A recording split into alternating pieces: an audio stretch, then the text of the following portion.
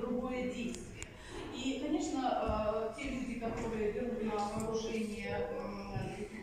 экстремистские группировки, да, они берут на вооружение, э, не буду цитировать э, те аяты Корана, где христиане, где иудеи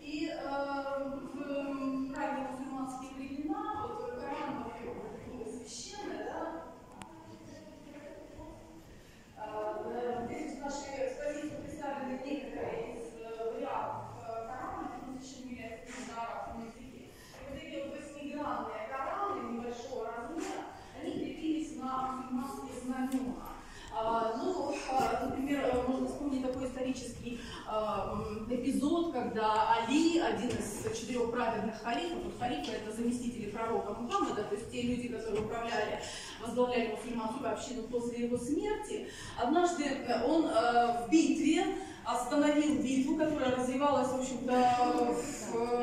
это была битва с язычниками,